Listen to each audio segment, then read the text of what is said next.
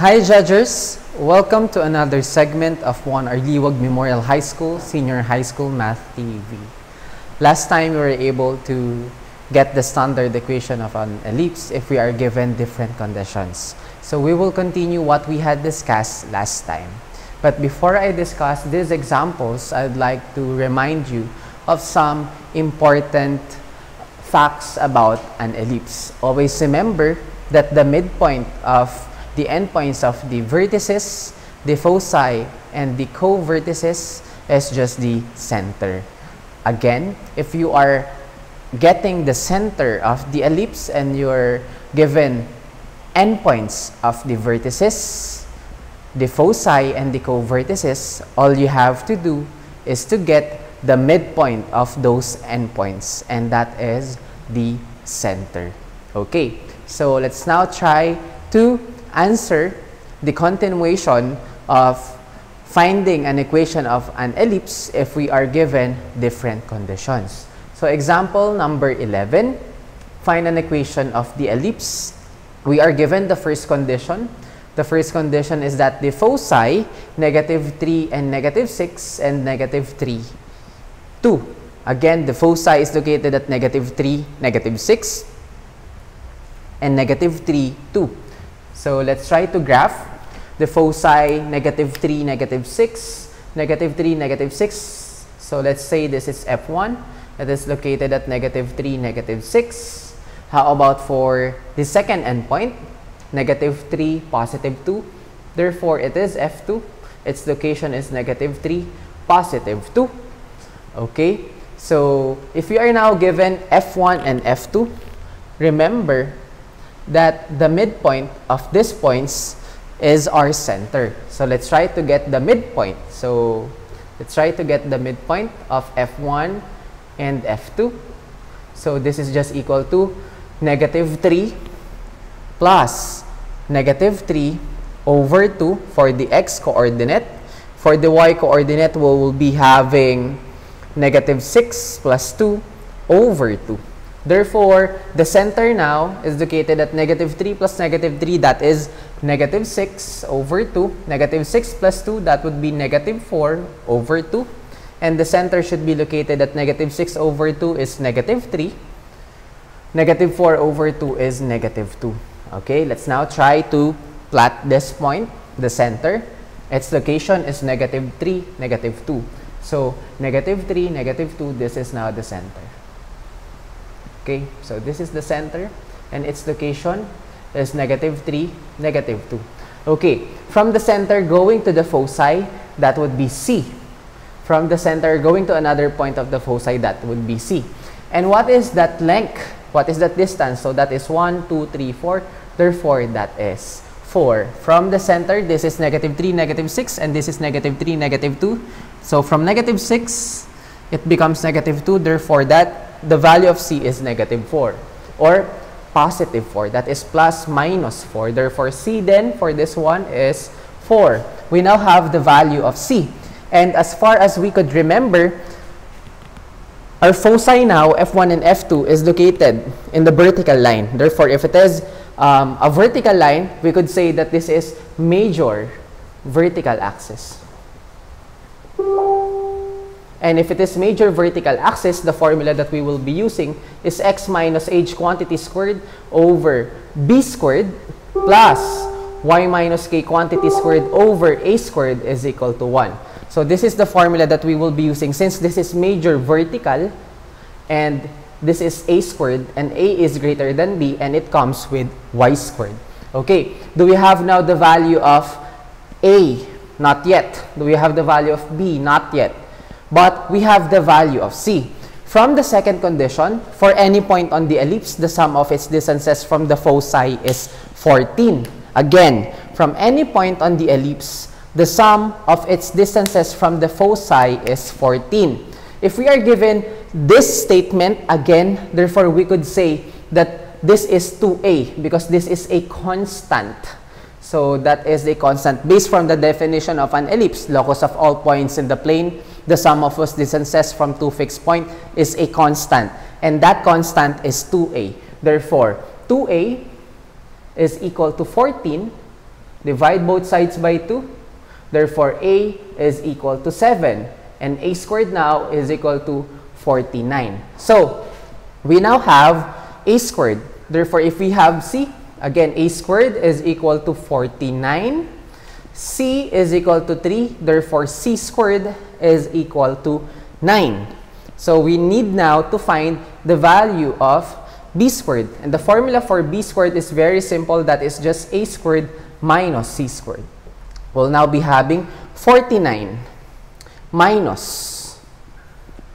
Okay, so this becomes 49 minus what is our c squared? I, our c should be 4. This should be 4. Again, this should be 4. Therefore, our c squared is 16. Therefore, 49 minus 16, 49 minus 16 is 33. And that is our b squared. Based on this graph, we could say that c is equal to 4. I'm very sorry with this. Therefore, c squared is equal to 16. And b squared is a squared minus c squared. 49 minus 16 is 33. So we now have the value of b squared. We now have the value of a squared. We're now ready to um, substitute this to the formula or the standard form. So this becomes x minus h of the center, which is negative 3. So therefore, that becomes x plus 3 quantity squared over b squared. Since this is major vertical, this is MVA. So over b squared, which is 33, plus y minus k. Our k is negative 2, so that becomes y plus 2 quantity squared over a squared. What is our a squared? That is 49 over 49 is now equal to 1. So this is now the equation of an ellipse with foci located at negative 3, negative 6, and the other endpoint of the foci is negative 3, positive 2. And for any point on the ellipse, the sum of its distances from the foci is 14. Remember that if you have this condition or this statement, that is always equal to 2a that constant is always equal to 2a. So we're now ready to answer the problem number 12. So for the problem number 12, we are now given vertices. And the vertices now is in the form of 2 minus square root of 61, negative 5, and 2 plus square root of 61, negative 5. And the other condition, the minor axis is 12 units long. So in this case, I will not anymore graph. I will not anymore graph this one. So the vertices is 2 minus square root of 1, negative 5, and 2 plus square root of uh, square root of 61, I mean, and negative 5. So for this one, I will write V1 is 2 minus square root of 61, negative 5. V2 is 2 plus square root of 61, positive negative 5. Okay. So this is the technique that I am always using in order for me to get the values of A, B, and C if we are given two points with this one. Okay, so based on our past discussions involving the formula in getting the vertices, we could say that this takes the form h plus minus A, why A? Because the, the given is vertices. And when we say vertices, it comes with the variable A. That is h plus minus a k. Okay, from this one, we could finally get the value of h. Therefore, the value of h, therefore the center is located at hk, and the center is located at 2, that is h, and the value of k, which is negative 5. So that is the technique in order for us to solve for the center if we are given the vertices in this form. Again, if you are given vertices in this form, or if you are given foci or co-vertices in this form, you just need to write it this way. And then write the formula for either the vertices, the foci, or the co-vertices. And then you will just arrange this in this um, in this form. So from this one, we'll now be having the value of A. Therefore, A is equal to plus minus square root of 61. Therefore, a squared now is equal to 61. We now have the value of a squared. But sir, I have a question. what will now be the major axis? In this case, since we are changing the value of x, this is the x-axis, therefore, we'll now be having major horizontal axis. Okay, major horizontal axis. And if we have major horizontal axis, I will just erase this one. If we have major horizontal axis, the equation now would be x minus h quantity squared over a squared. Since major horizontal axis, a squared will always be with x plus y minus k quantity squared over b squared is equal to 1.